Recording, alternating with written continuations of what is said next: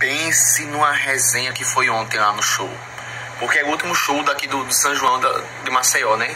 E eu precisava voltar a Maceió, precisava voltar a ver a galera, sentir como é que tava, né? Depois de tudo que aconteceu, não tinha voltado ainda. Nem eu, nem Lucas. Cara, que recepção massa, que coisa de doido, assim. Sabe, você ser bem recebido no lugar que você mora, que você. Não, assim, não teve preço, Maceió, não teve preço de verdade.